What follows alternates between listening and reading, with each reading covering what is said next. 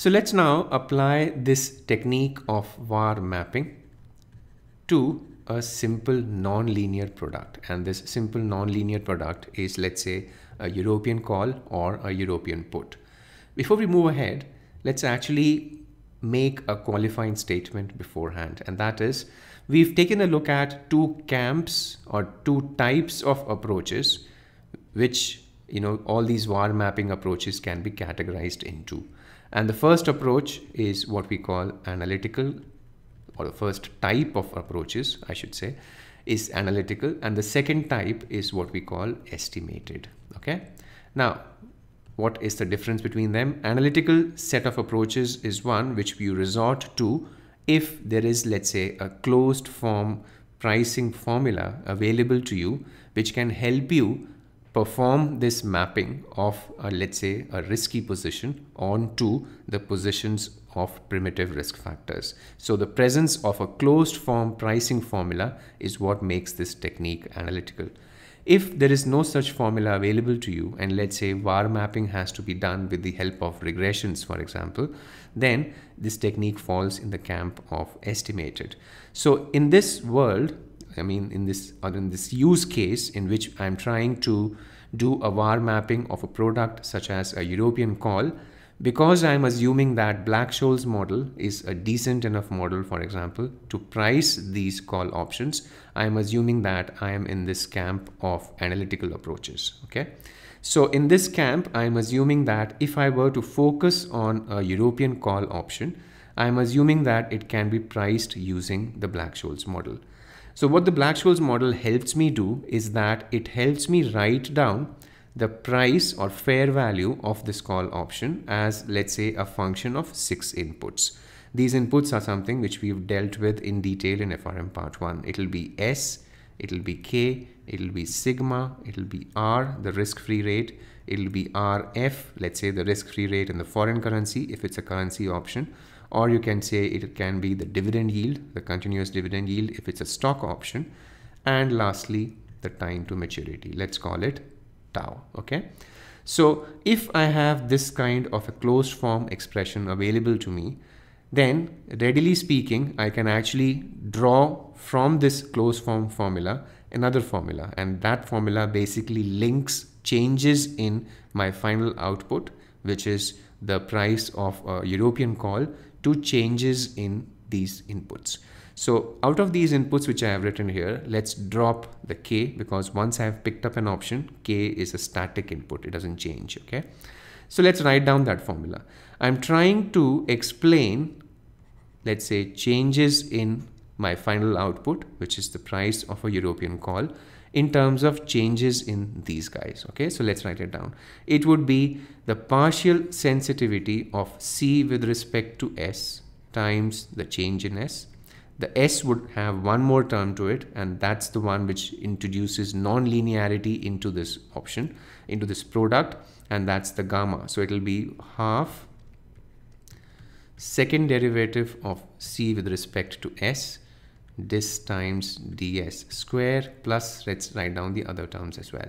It will be sensitivity with respect to sigma times changes in sigma plus sensitivity with respect to r times changes in r sensitivity with respect to q times any change in dividend yield plus sensitivity with respect to time to maturity times the change in time to maturity okay? So Let's now see what I can do from this formula. Before I move ahead, let's do this. Let's alongside also write down the Black-Scholes formula. So the Black-Scholes formula looks something like this. It would be in the presence of dividend yield, it would be S times e to the power minus q tau times nd1 minus k e to the power minus r tau times nd2 take a look at both these formulas, right? And let's draw a certain set of conclusions which we'll then focus on going forward. So although I have written down that the change in the value of my position, which is let's say in a call European call option, can happen because of changes in any of these risk factors, right? S, sigma, R, Q, tau. This doesn't make too much sense for us to actually focus on all these risk factors. Okay, so let's pick the ones which we would want to focus on going forward. The clue for that actually comes from this formula.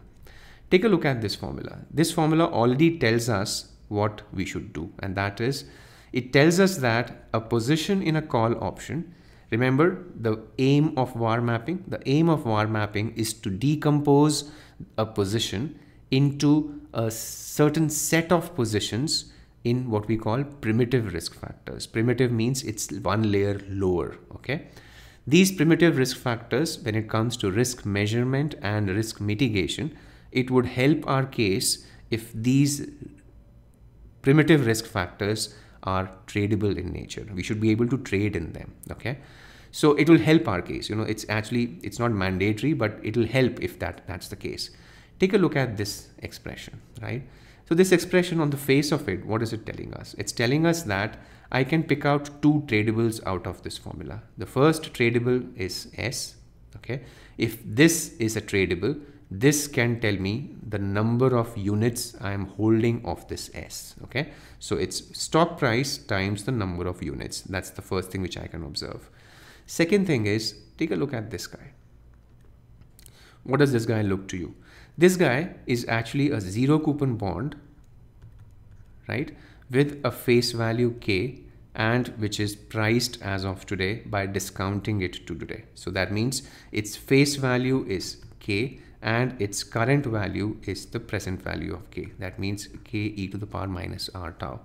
How many units do I hold of this bond? It's these many units, okay?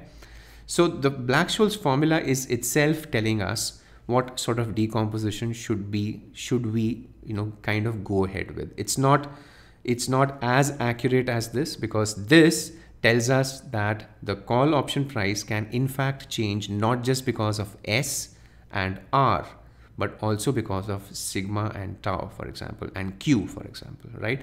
But while if we were to stick with and go ahead with a decomposition which focuses on two risk factors this guy and this guy right? Because the second position which I have worked out is a zero coupon bond and the only risk factor which it is sensitive to is the interest rate. That means out of the six or actually one two three four five six yes.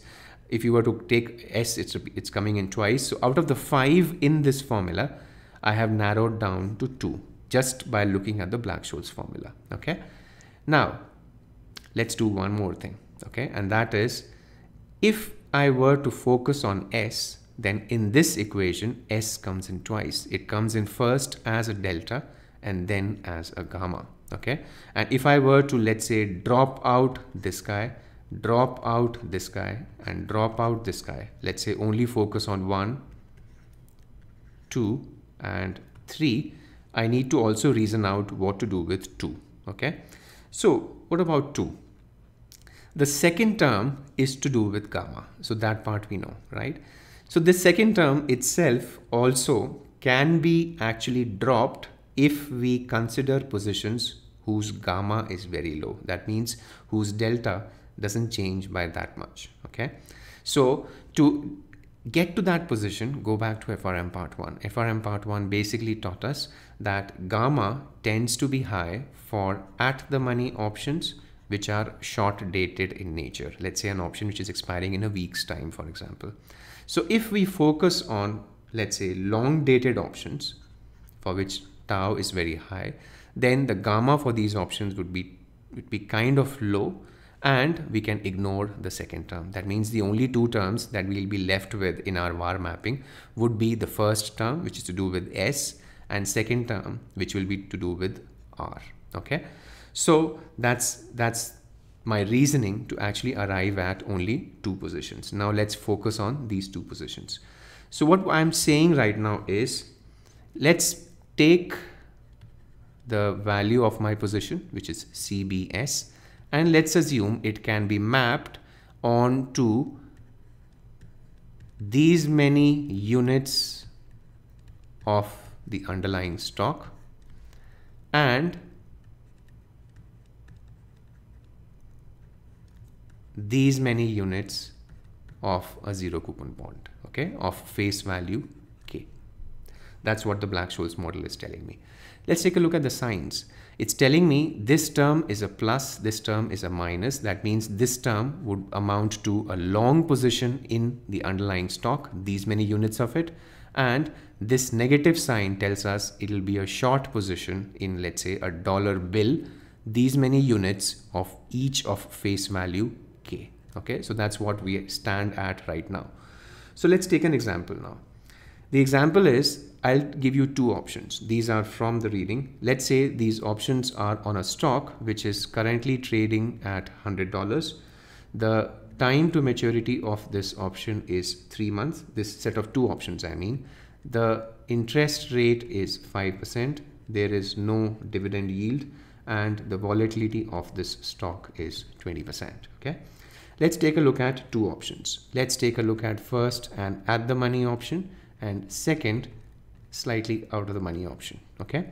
So the value of this first option is let's let's note down the value it's 4.2 the value of the second option is 1.04 dollars both coming from Black-Scholes the delta of this first option delta call is close to 0.5 it's 0.536 because it's an at the money option. The delta of the second option is 0.195 okay? So let's say this is the data which is given to us. So what does it tell us about the var mapping? It tells us that I can map this first option into two positions. The first position would be 0.536 units of the stock. This is my first term here. And that means I have mapped it to $53.6 worth of the underlying because the underlying right now trades at 100 okay?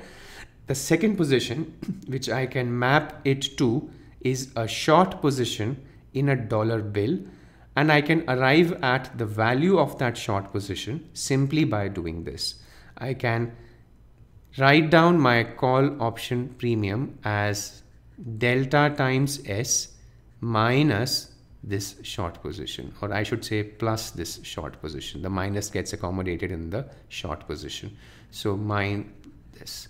So that means my short position is actually equal to C minus delta S. Okay. So that means it would be 4.2 minus 0.536 into 100. That means it is equal to minus 49.40.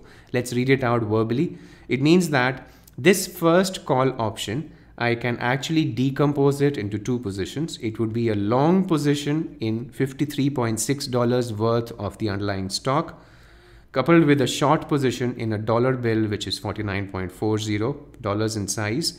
Or you can say it's a long position in 53.6 dollars worth of the stock, which has been financed using 49.40 worth of risk-free borrowing. Okay, so let's write it down as minus here. Similarly, I can do the same exercise for my second option. It would mean that I can decompose it into a $19.5 worth of the underlying position coupled with it'll be 1.04 minus 19.5 which means which means coupled with $18.46 worth of the borrowing. Okay, so this stock position has been financed using this much of borrowing. So where does this mapping helps help us with? First comes first. Let's do an aggregation. That means if the two options really did have the same time to maturity, this borrowing and this borrowing is actually the same okay? So these two borrowings are both at the same rate which is r and for the same maturity which is three months. I can aggregate them okay? So net net the two options they aggregate to a total position of 73.1 dollars worth of the stock as well as a short dollar bill which is the total of these two which is 67.86 okay? So that's the aggregate position.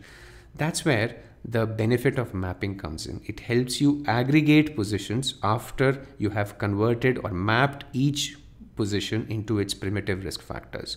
Uh, by the way, this aggregation of the dollar bill wouldn't have been possible if these two positions were in different I mean, call options with different maturities. You could still have aggregated the stock positions, but you shouldn't have aggregated then the two dollar bills together. I could have done it right now because they two are the same maturity. Now, where does it help us in terms of risk estimation? If I was doing the risk estimation, I mean the VAR estimation of these two positions, I mean the two call options, I would have to do them separately, okay? But now what I can do is, now since I have aggregated the two together into a single position, right?